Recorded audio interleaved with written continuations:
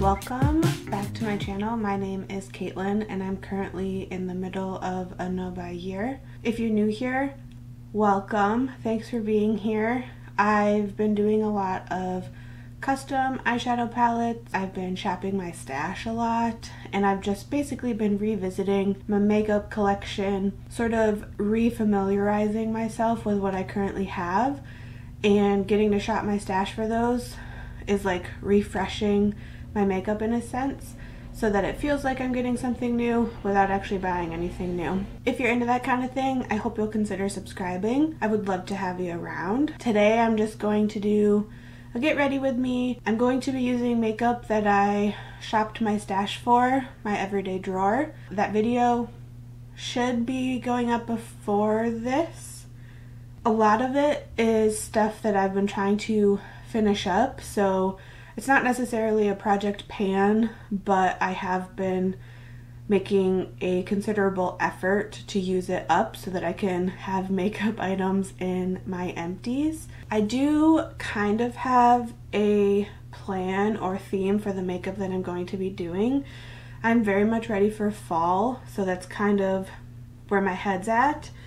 I picked two lips that I might choose between the Sephora lip stains. What's the actual name of it? The cream lip stains. I'm not sure that they even make these anymore. Do they? I don't know. But I chose, well, the two that I have are red and then like a brown red. I'm kind of leaning towards the brownie red just to make it a little bit more fall. We'll see how I feel once I get the eye look on. And then as I'm doing my makeup, I'm just, it's kind of going to be like my August check-in, I guess, for my no-buy since I haven't really done that yet. Let's just get started. I was playing around with lip products to use, so my lips are kind of dry right now, so to start off, I'm going to use the Ulta Juice Infused Lip Oil. This is in the scent Black Raspberry. I'm not sure that it really smells like raspberries um, it just kind of has a fruity scent. Okay, in my brows, I already put on the Patrick Ta Brow Lamination Gel, and I filled them in with the Milani Weekend Brow in the shade Espresso. It's generally just how I do my brows on an everyday basis, so I didn't feel like it needed to be on here because I felt like, I feel like you've seen it a bunch of times. I usually always do my eyes first, but while I'm doing my eyes, I'm going to put on a primer. This is the e.l.f. Power Grip Primer. I'm almost done with it. It's one where like um, you kind of need to let it sit for a little bit before you go in with stuff anyway, so I'm going to put this on first.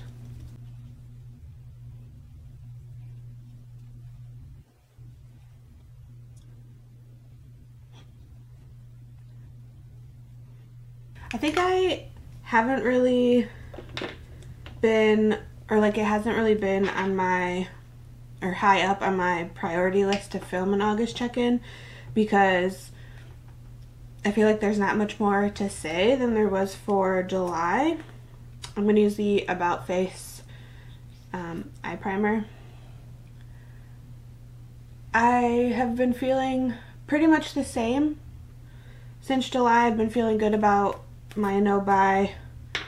Um, I feel like a renewed sense since I broke it in June.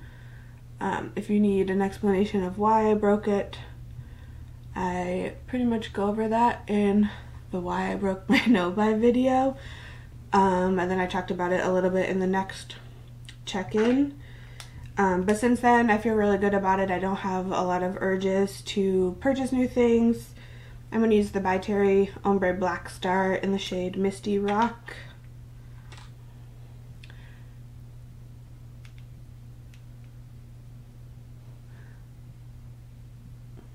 I have, though, been seeing... There's a bunch of new releases that I've been seeing that's that have been, like, intriguing to me. Um, so it's been like testing me a little bit in terms of seeing what's new, and I kind of feel like it's going to be like that pretty much until the end of the year since it seems like everyone is just gearing up for holiday releases. Um, and it's also so like I've actually gotten to the point where I've ran out of a couple things in terms of like skincare categories where I've actually needed to like repurchase something. So then when I'm on the Sephora or Ulta app or whatever, I generally just go to the new, like see what's new. And on Ulta, like I think it was Too Faced maybe, they already have like a whole bunch of holiday kits listed and stuff. And it's like, it's September, so um, like it's a little early. I'm gonna use these eyeshadow shields. So I put that by Terry on basically as a base. I like to use these just to catch any fallout. I like to use glittery eyeshadows, so for the most part, they're gonna have some fallout. I'm going to use the Natasha Denona palette that I put together of like grungy tones. Since I've been ready for fall, I've been gravitating towards this quite a lot. Um, and since the Misty Rock is a little bit purple in base, I'm going to be using this shade right here, which I'm pretty sure is from the like blue brown palette of Natasha Denona.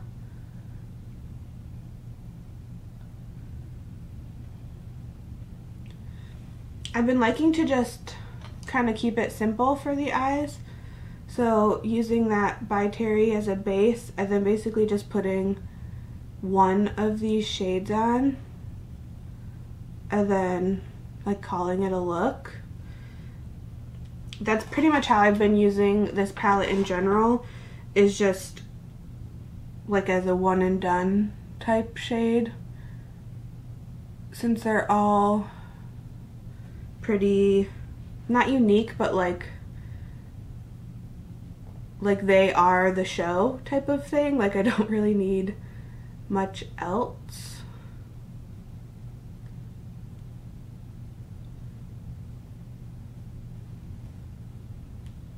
And I guess I didn't really need these. That didn't have much um, fallout. I am going to take just for shits and giggles, um, I'm going to take this shade right here. It's just a darker, kind of satiny, um, just to give a little bit of dimension in the outer corner. I believe this one is from the Lila palette. If you want to see the video that I made um, where I put this together, I will put it in the description or like link it. Which way does it go? I think over over here maybe. I also put together, I filled up the Metropolis palette with um, the midi pan shades. Kind of following the same theme as like grungy, metallic, um, bronzy taupey whatevers um, but I use a lot more lighter tones in the midi palette. Okay.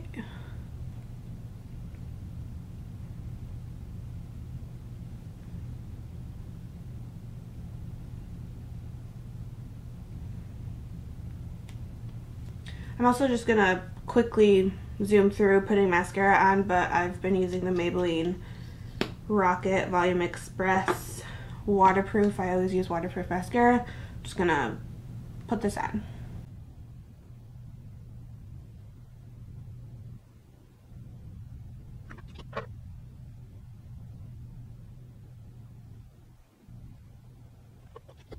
Okay, mascara is on.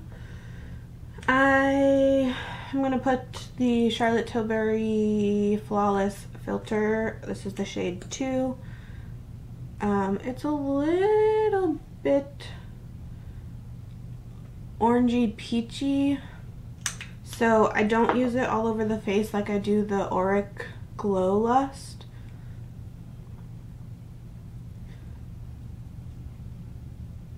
And I find that if I get it like in my hairline, it's like quite noticeable. So I try to just keep it to the cheeks, forehead, and just a little on the chin.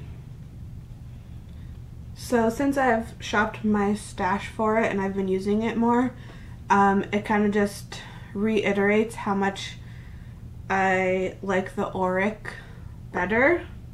And for my base, I'm going to use the Westman Atelier. This is in the shade Atelier N. Generally, it's a little bit dark for me, but I do have some more color to my face. Um, about a week ago, my job did like a lake day and I wasn't as diligent at reapplying sunscreen as I should have been so I got a little bit burnt. My face fared better than my back and shoulders um, but it's still darker than like my normal paleness.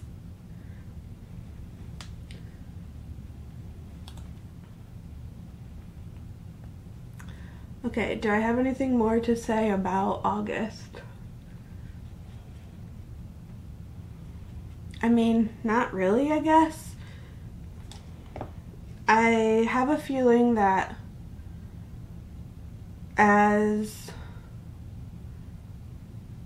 like more holiday sales and stuff are starting, I might get a little bit of that FOMO feeling.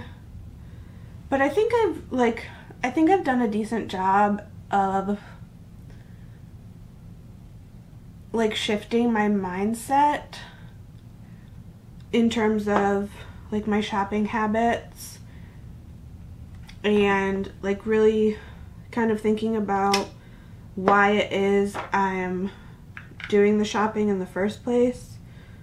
I'm going to go in with a little bit of the Glossier G12, the stretch concealer. I also have just generally been like feeling quite good about just myself and like how the no buy is going um, because I've been using up a lot more of the skincare products and even like some of these makeup products that I'm getting pretty close to emptying. It's giving me just like that sense of accomplishment so I don't feel like it makes me want to keep using the things that I have and trying to empty the things that I have and I don't um, really get as much of the like needing something new feeling as I used to get before I did the no buy. So that's nice. So I think really this holiday season is going to be kind of the true test of like how much I've shifted my mindset around things. But going into it, I'm feeling good right now. So I'm just kind of hoping to keep it that way. It also helps that I have been like a bit more steady at work, like not super busy, but just like consistently having something to do. I'm using the Rituel De Fille Eros. This for sure is going to be in the September empties, so I'm excited for that. So staying more consistently busy at work means sort of less downtime to be like on my phone and like bored or looking for something to do.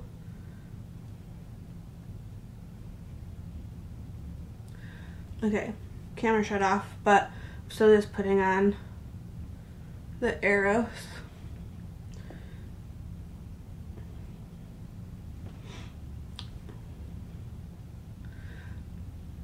And I know I've said this before, but also just like having this like YouTube thing to sort of occupy my time. I've just been a little bit like steadier at work in terms of my my actual workload. So that means less time on my phone and doing like the YouTube videos and editing and stuff. Generally I'm doing that on the weekend, so like I'm not spending weekend time sort of shopping and I also find so I still really like watching YouTube videos um, but I find that I'm watching less which means less watching like new release type videos or like people just constantly talking about new makeup which I see the new makeup coming out because like I'm on Instagram so like I'm seeing like Trendmood or whatever post the new releases, but so like I'm not really watching those products in action as much or like being hauled. So part of what I think started my like overspending on beauty and I don't blame these people at all but like Tara babies I remember watching and just like haul after haul after haul and watching her do like her collection videos of like showing everything that she had and just like constantly seeing new things being bought. And I felt sort of the compulsion to like keep up in a sense which I know that she wasn't like that's not her fault at all. That's me not being able to just watch and enjoy something without it affecting my habits but I've been watching less videos like that, which has helped shift my mindset and I find myself like wanting to watch less of those in a way.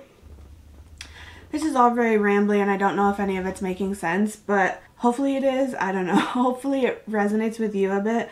I know that, I don't know, it's just part of the thing of like wanting something you don't have or seeing someone from afar and like you want or you think you want to be like them and part of that is constantly being able to purchase new things or like always getting the new.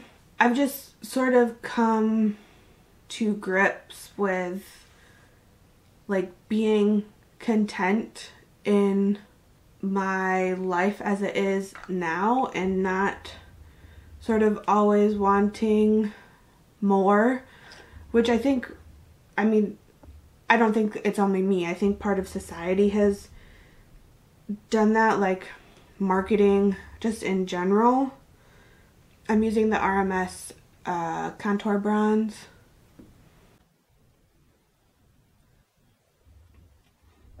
I don't know if it's just like my generation I don't know. I guess I would consider myself like an, an elder millennial. And I just feel like like we were the generation that was like constantly marketed towards I don't know, and just like the narrative that like you should always be wanting more than you have. I don't know. I still don't know if I'm making like any sense. But in terms of like shopping and everything, I don't know. I just think it's okay to be content with what you have. It's okay to not want things. It's okay to not have the newest and most shiny thing. I'm using the Thrive Tessa blush.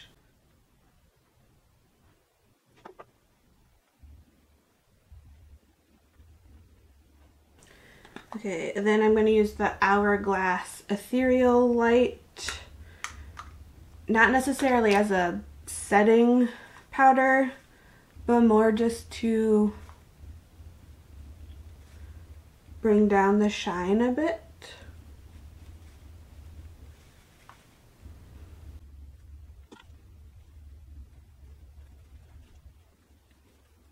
Okay, and just to like throw some more blush on.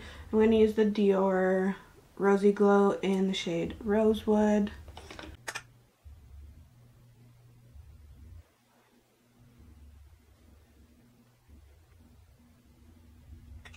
Okay, I I like how that's looking and I think I will just go with this darker shade. It's number 42. I don't know if there's an actual color name attached to it. And again, I think it was kind of discontinued anyways. I don't think they make this exact formula anymore. And I'm going to see how well I can do at this without making myself look like a clown.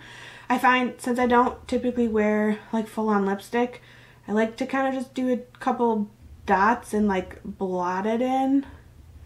So we'll see if I can make that happen.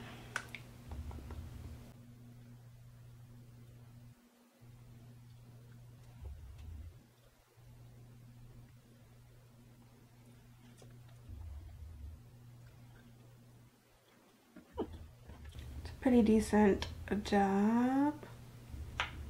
That was maybe too much. Let's see.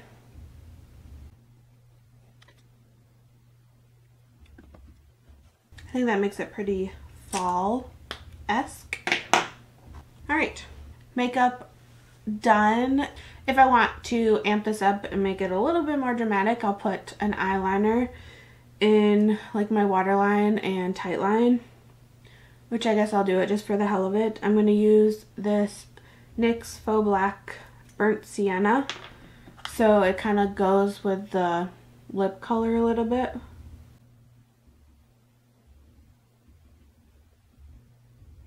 Alright, this is my ready for fall makeup using items that I shopped my stash for. Again, that video, if it isn't up all, if it is not up already, um, when it is up, I will put a link to it in the description. I'm trying to think if I have any other check-in items to talk about. Um, I feel like I rambled enough that maybe I covered it all. Maybe I didn't really have much to say at all and it was just all nonsense. I'll find out when I'm editing. and maybe this never sees the light of day. Who knows? I think just for the most part I'm feeling good about the no buy. I feel good about using up the stuff. I feel like I'm, like, I feel less anxious about what's currently open in my bathroom in terms of skincare. And I think that's like a unintended benefit of what the snow buy has been. Um, I guess I didn't realize how sort of stressed I was about like what was happening and like using my skincare, I didn't realize that like having so much of it was sort of stressing me out, but now that it's like toning down and like my skincare routine is fading to a more manageable level of items, like I'm just feeling good about it. So yeah, that's pretty cool. Um, I'm excited to go into September and the rest of the year, I'm, I don't know, I'm just feeling content. And I think that's a place that I didn't really know that I was looking to be at or that I was needing to be at. But now that I'm here, like just overall, I feel better. That's all I've got, I guess. Thank you for watching if you made it all the way to the end. Uh, let me know in the comments below. I don't know, what's your favorite season? What are you looking forward to? Do you like fall as much as I do? Fall generally brings a sense of refreshment and starting over just because like for me fall is starting a new school year even though I've been out of school for uh 11 years I still get that feeling every time fall comes around so let me know in the comments your thoughts about fall and no buys and feeling content in your life rather than always wishing and wanting for more. I would love to read about it. I hope to see you in the next one. Bye.